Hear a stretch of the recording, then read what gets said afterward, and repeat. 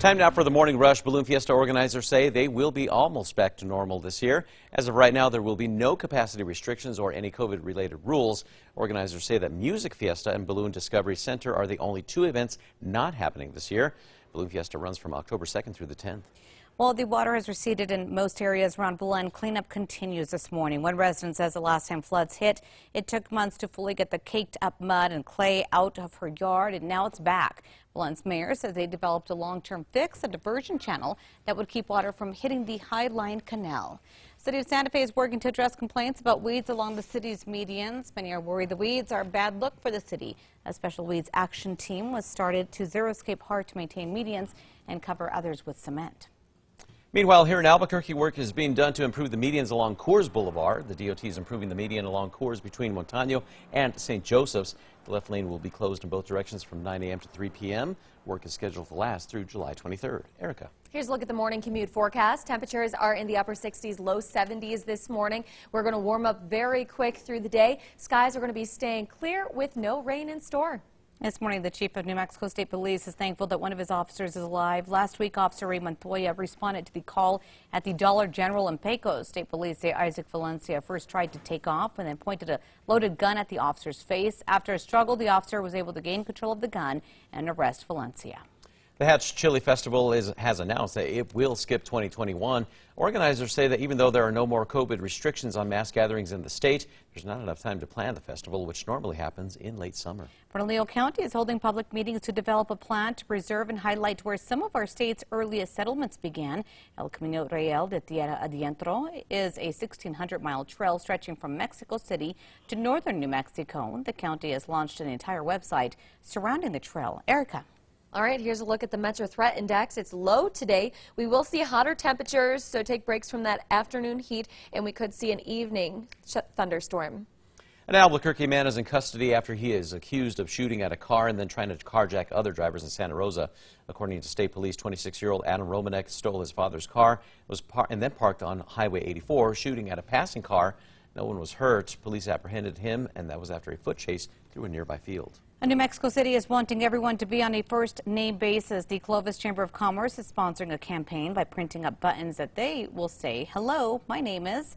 People who live in Clovis, who live in Clovis, I'm rather, are encouraged to order a button with their name on it free of charge to wear around town.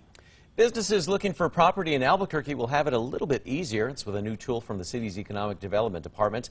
ABQsites.com is a database that shows available properties around the city and it highlights the qualities of each. Erica. Here's a look at the morning drive. Uh, the maps are completely clear right now, no accidents or slowdowns to report. And here's a look at tracker going west on I-40 near University. It's a quiet morning. You won't find any issues for that commute.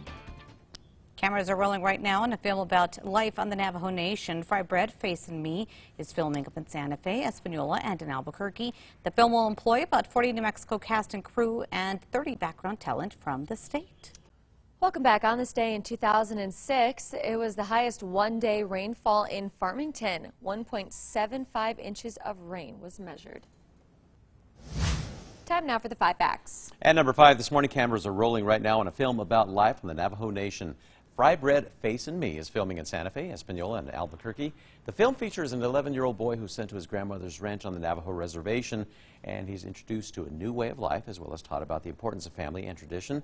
That film will employ about 40 New Mexico cast and crew, along with 30 background talent from the state. Number four, now businesses looking for property in Albuquerque will have a little bit easier chance of doing it with the new tool from the city's Economic Development Department. ABQsites.com is an interactive database that shows available properties around the city and highlights the qualities of each. This can include location, demographics, and nearby attractions. The hope is to attract businesses from out of state and also help local businesses expand or relocate to fit their needs. And at number three, the monsoon meter is the lowest it's been in a few weeks, only at a two. That means drier skies across the state. We'll be seeing showers and storms popping up in the northern West Mountains and the San Juan Mountains and moving into the adjacent lower terrain. But most of eastern and southern New Mexico is going to be staying dry.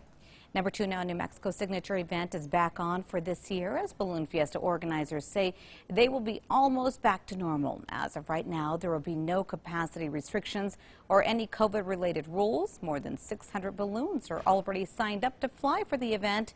Organizers say only two features will not be happening this year. Those are the Music Fiesta and Balloon Discovery Center. Organizers recommend that unvaccinated people wear masks. Balloon Fiesta runs from October 2nd through the 10th.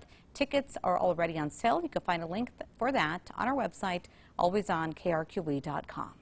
And at number one this morning, while the water has receded in most areas around Belen, the cleanup does continue. Now, one resident says the last time the floods hit, it took months to get the fully get the caked up mud and the clay out of her yard, but now it's back. This time even in her home. Now, Belen Mayor Jared Cordova says they developed a long-term fix, which is a diversion channel that would keep the water from hitting the Highline Canal. Cordova says that it would cost about $65 million, and they are still working on funding for that project. Again, we are going to continue keeping an eye on the cleanup efforts down in Belen.